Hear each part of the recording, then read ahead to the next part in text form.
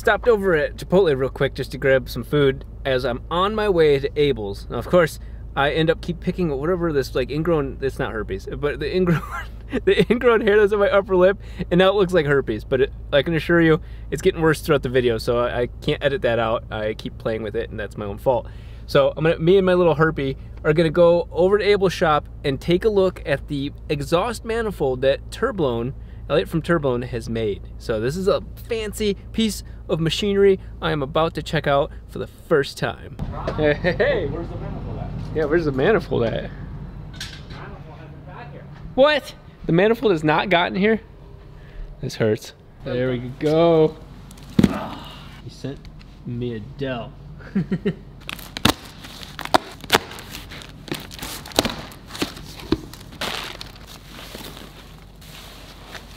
Christmas time. That's right. That is looking pretty sexy. I think I'm keeping this one. I can no, this no, one. you can't keep I that got one. one I can give you over What? there. No.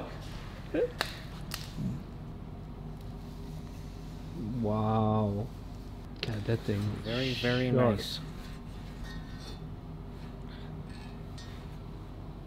That's a million times better than what you had. Yeah. Wow. Get to work, son.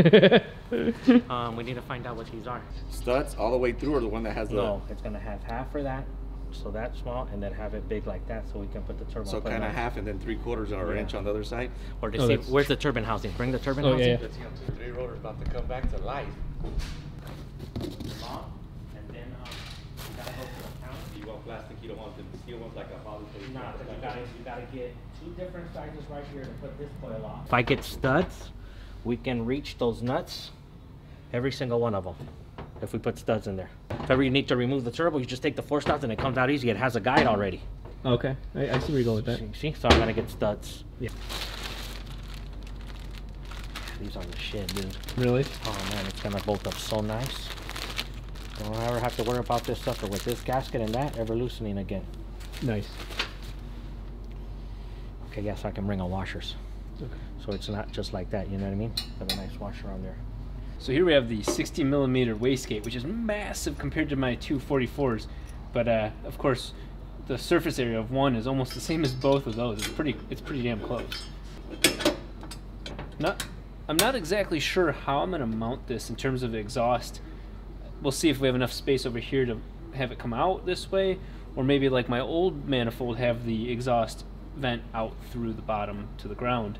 So in the day and age of technology, you'd expect to see more sensors and more inputs to your ECU, and sure enough, this manifold has those. Right down here, you see one of each of the three exhaust gas temp sensors. Why three different ones? Well, one for each of the rotors to tell it the exact combustion temperature, or at least immediately afterwards, between the three. You're looking at the difference because if something is combusting hotter, that's generally telling you that you need to tune the difference between the three rotors. Additionally, this is one of my personal favorite features is a exhaust back pressure sensor. This ultimately ends up going through that full function charcoal canister before it's connected directly up to the ECU and tells you the back pressure eh, sensed from the outside of the engine to the turbo. What does that tell you? Well, it's really relative to be able to see how much back pressure your turbocharger and the rest of the exhaust past the turbocharger is causing. Rotary engines, like most engines, hate back pressure. So we can again measure, and you could try different turbos and different things to see what housings and what turbochargers are giving you the best results. Now this little piece is actually pretty awesome. Abel had this made for all of my coils. These little guys here, you know, the basically what creates the spark. So in this case, we're gonna be using a variety of these longer bolts as well as nylon washers to space them properly from each other and from the edge of this mounting plate. So I've got two, two, and two.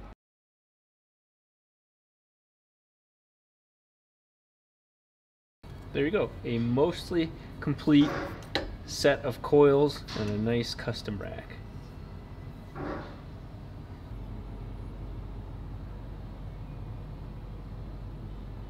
Yeah, Abel's right. I just looked at it. This this is what I was using for my exhaust manifold bolts and nuts. This is what he suggested using. And his exact words were, "This will make sure that manifold never falls off." And I can be inclined to agree. So I just tightened the middle exhaust bolt right there, and you can already see that, of course, this is sized really uh, spot on. I gave him specifics as to where I wanted the turbo to end up, and he pretty damn well nailed it. That is really on point. Let's go ahead and get the turbo reassembled and put it up there and see where it fits in.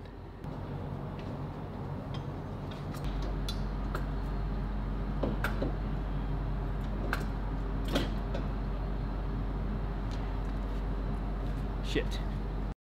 The current problem was something that we anticipated potentially running into, and that's the fact that putting these in order, installing them, this area it just becomes very much in the way. We wanted to get the turbo away from the intake manifold as far as possible, so it's in a good position, but as you can tell, the bolts or the studs aren't going through, so it's not sitting all the way down into the spot it's supposed to be in. So that is not the final resting place. It's going to actually end up being a little bit lower.